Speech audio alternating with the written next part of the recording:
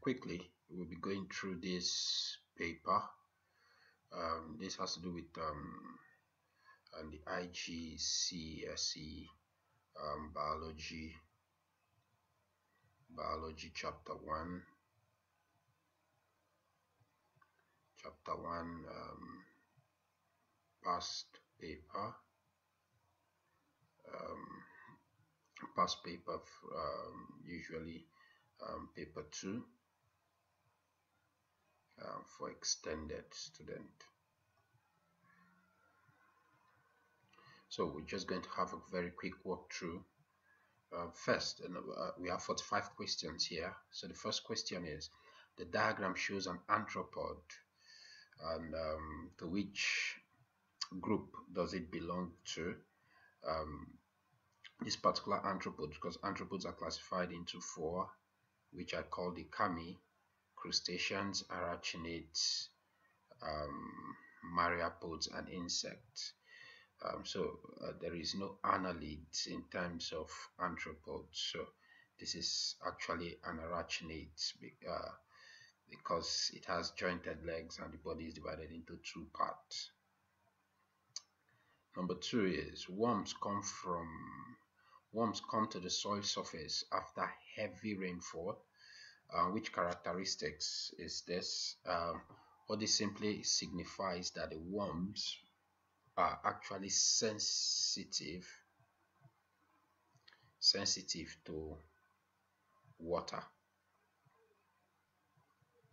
So that's actually sensitivity. And the next question here is um, uh, which animal is not an anthropod?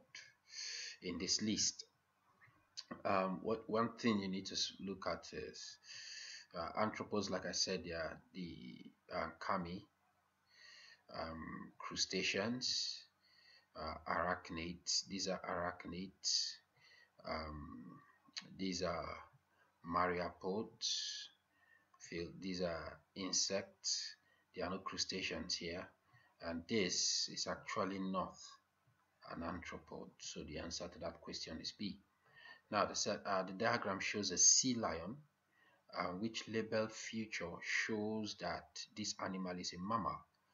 And the answer to this question is that it has you know most mammals have um, should have hair or fur so uh, the only thing similar is the whiskers and classify uh, what makes the sea lion to be classified as mammals. Now here is using a dichotomous key to identify this. So the diagram shows an animal found in fresh water. Now use the key use the key to identify the animal. Body divided into segments. The body is not divided into segments so we are not going to two. Body um, not divided into segment go to three. So body is not divided into segments so I will now move to number three. Has a shell. It doesn't have a shell. Has no shell. So my answer is D. It has no shell now um, this is the diagram shows a plant at the start of an experiment and uh, the same plant two days later. Um, so in two days later you find out that the shoot of the plant is now growing towards the direction in which the light is coming from. So that means this plant is quite sensitive to light. So uh, which characteristics of organism demonstrate this experiment is sensitivity and that's phototropism now an animal can swim has a backbone suckle youngs and breathe air uh, to which group um, can we classify this? Uh, does it belong to? It, say it can swim, has a backbone, suckle young, and breathe air.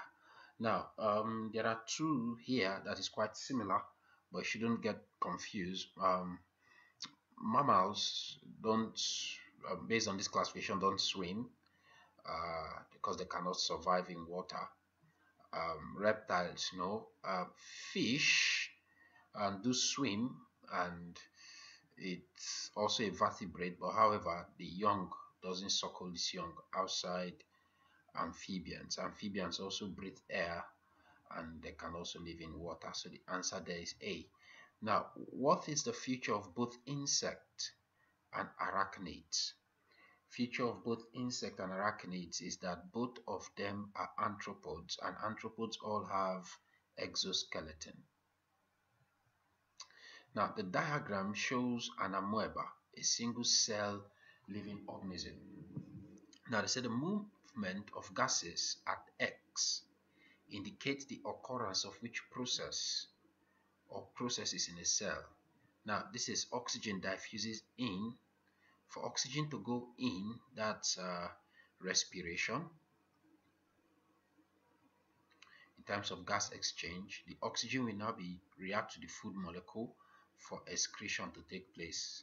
So the carbon dioxide coming out is excretion. So uh, the characteristics there for number 9 should be excretion and respiration which is B represent excretion and respiration. Now which characteristics which are characteristics of insect. Uh, all insects, do all insects have um, six legs? Yeah, that's why they are arthropods. They have six legs. Um, body divided into two? No, it's only uh, some uh, others body are divided into three. Now, a student observed a vertebrate swimming in a pond and the animal's surface uh, was smooth and hairless vertebrate swimming in a pond and, and the surface was smooth and hairless. It used its four legs to swim. At interval, the animal come to the surface to uh, take a mouthful of air, to which that's amphibians.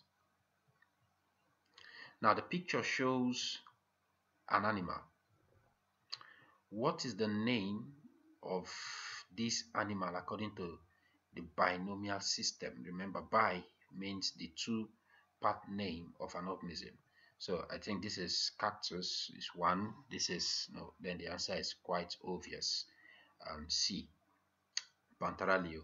Now, what is respiration? Respiration is the chemical reaction in cell uh, that uses oxygen to break down food to release energy. So your answer is C. Now, they say a living organism X can make its own food, gets makes its own food, get rid of toxic material, and detect and respond to stimuli. Um, so first, make its own food, that's nutrition. Get rid of toxic material, that's excretion. Detect response, detect and respond, that's sensitivity. Now, uh, once you detect it responds, uh, you expect that uh, this can also represent a movement, a response, so it will move in response to the stimuli. So they say which four characteristics? So I have excretion, I have growth here, no, I have growth, growth, so I know this two is off, growth, um, I think that, um, let me see, make his own food, get rid of toxic material, um, and detect and respond to stimuli. Um, what order?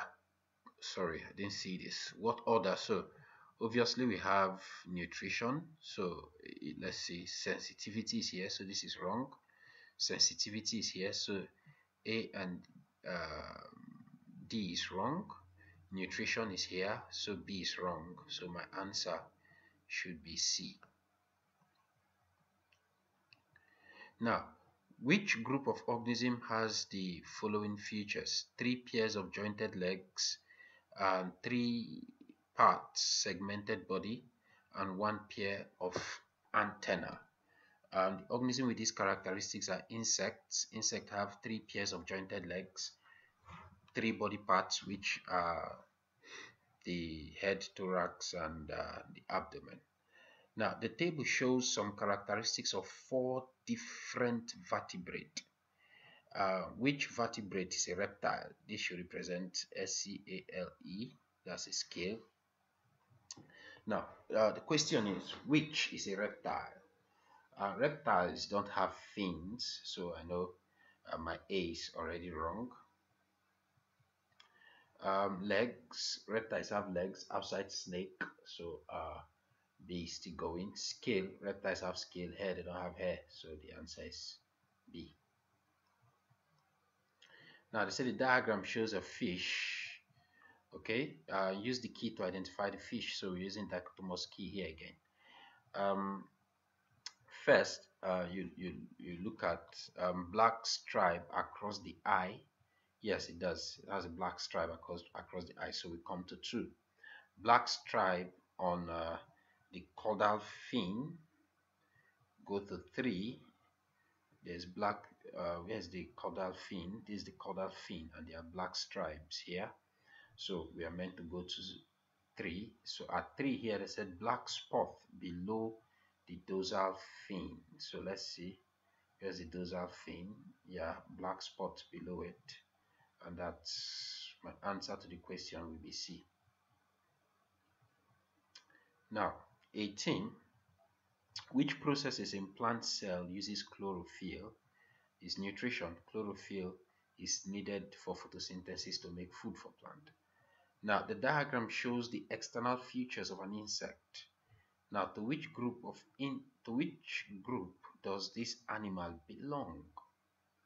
Uh, external features of an animal. Sorry, uh, okay. To which group does it belong? It belongs to arthropods because these are actually insects, so they are arthropods. Next is which vertebrate group have scaly skin? Um, amphibians no. Amphibians no. Mammals no. Mammals no. Your answer is d. Scaly skin is found in fish and reptiles. Now which characteristic of living organism is described by the following definition the ability to detect changes in the internal and external environment and make appropriate responses those are sensitivity now what is the correct order of arthropod group from those with most legs to those with few west legs. Now, uh, if you see, the, one of the major way you can answer this kind of question is identify which has the most leg. If you remember the kami, um, myriapods have most legs. So if you look at this, it is only D that start with myriapods. So my answer is D. From here, you can easily know that these other ones are quite wrong. Now, which animal is an annelid? Um, has legs, has legs, go to two. No, annelids don't have legs. So has no legs, go to three. Yes, has a shell. Annelid, no, it's mollusks that have shells. So has no shell. The annelids don't have shell. Now, which characteristics is shown when a person smell a gas in the air? That's sensitivity. You're sensitive to the aroma or the gas. Now, the diagram shows an animal. Okay, use the key to identify the animal. Has legs, it has no legs. Obviously, has no legs. Has no legs, go to three, we come to three. Has one muscular foot, okay just only one there is doesn't have up to two so my answer is C an organism has dry scales covering its body to which vertebrate group does it belong dry scale covering its body that's that's D reptiles have dry scales which characteristics of living organism can involve ingestion absorption and assimilation ingestion, absorption, and assimilation. Those has to do with human nutrition. So is C. Now, which system is used for naming organism is the binomial or binomial system um, for naming organism. Dichotomous key is to identify. Now, what is defined as the chemical reaction that breaks down food molecules in cell to release energy? That's respiration. Um, now, dichotomous key again. The diagram shows a section through a flower. Okay, using the key identify this flower. Now, sepals present. Um, these are uh, sepals are present. These are the sepals. And so we go to two, right? Um, stamen attached to petals. Uh, these are stamen, the male part of a flower made up of filament, um, anther and filament makes up the stamen and they are attached to these petals so um, um, stamen are attached to petals so your answer is A. Now which process produce heat to maintain a person's body temperature is respiration? Now uh, which shows an organism that has been named using the binomial system um, bacterium flowering plant hiv this is quite straightforward. So you know homo sapiens um, the, this is the genus and this is the species name. And the genus always starts with a capital letter. Now the diagram shows a flowering plant and um, they say we should use the key to identify this flowering plant. Plant has flower has four petals no? Flowers have five petals. You can count it. This is one this is two this is three this is four this is five. So flower has five petals. We come here leaves have smooth edges. The edges of the leaf are not smooth they are actually rough. Uh, so leaf have jagged edges so your answer is d. Now which processes remove the waste product of metabolism? That's excretion. According to the binomial system how should human be named? You see i told you that the capital uh, the this is the genus and this is the species and uh, the genus always starts with a capital letter while the species starts with a small letter. So here species starts with capital letter so that's wrong. Species starts with capital letter here that's wrong. Um, the genus starts with small letter here that's wrong. The only correct answer is b. 36 which leaf comes from a monocotyledonous plant? Um, uh, you know a monocot plant actually have only parallel veins. They don't have net or branch veins. So uh, if you look at D D all the veins here are quite in, in a straight line makes them um, parallel. So that's the answer. Now the diagram shows four different animals. They are not drawn to the same scale. Now which is a vertebrate? Uh, vertebrate are animals with backbone so snakes and fishes. That's W and Z. That's your answer is D. Now, they said the diagram shows half of a flower. Okay, so we need to identify this flower using dichotomous key also.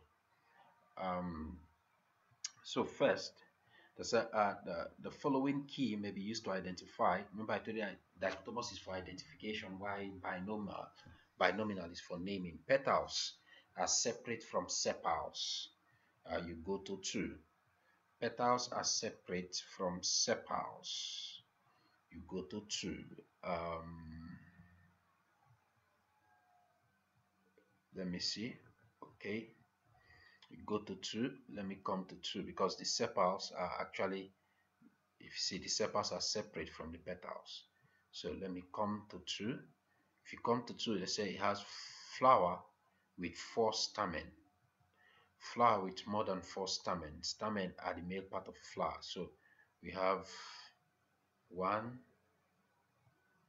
two, three, four. Flower with four stamen. Flower with four stamens, plant Q. Flower with more than four stamens, go to three.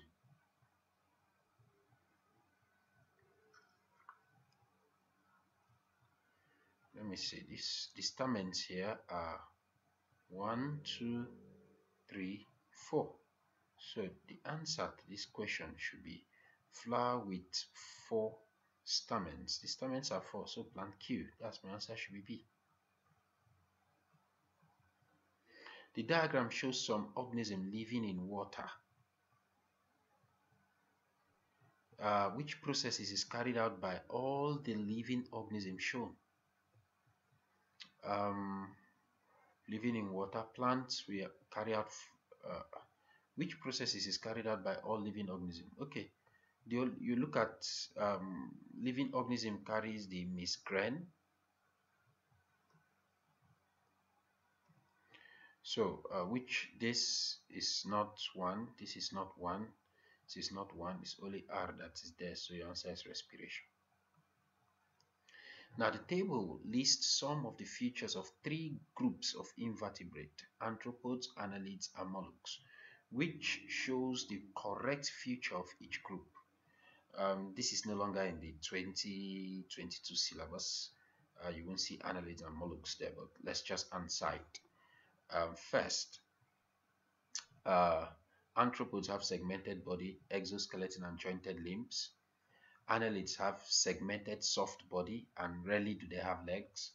Mollusks unsegmented soft body have internal or external shell. The answer is A. What are characteristics of all organism? Egestion is not a characteristics. Egestion is not a characteristics. Photosynthesis is not a characteristics of all living organisms. The answer is C excretion and nutrition. Now, the table shows the classification of four vertebrate animal. Um, there's a which two organisms are most closely related. Um, let me see. If you look at this, you for you to know the ones that are closely related, you should look at their genus name. Now, if you look at animal 1 has the same genus as animal 3 so that means they are more closely related than every other organisms here. And if you look at their family, they are from the same family, the same family, the same order, the same order, the same uh, class, the same phylum. It's only the species that makes them different. So my answer is B. Now, living uh, animals release carbon dioxide, and the removal of carbon dioxide is excretion. Now, um, which of these features is used to classify organism as flowering plant? Um, the possibility of them having seeds and fruits. So it's only flowering plant that produces seed and uh, fruit. Now, the diagram shows a leaf. Also, use the key to identify it. A leaf with several small leaflets. Mm -hmm. No, that, that that's that's not correct. There is no leaf smaller leaflet here. One large blade. Okay, go to three, three. Leaf with smooth edge. Yeah, the edges are smooth. It's not to the edges. So the answer is C. So uh, with this, we've come to an end to uh, this paper. Uh, we just answered 45 questions. And so just watch out for the paper 4, um, chapter 1 classified, uh, which I'll be posting shortly.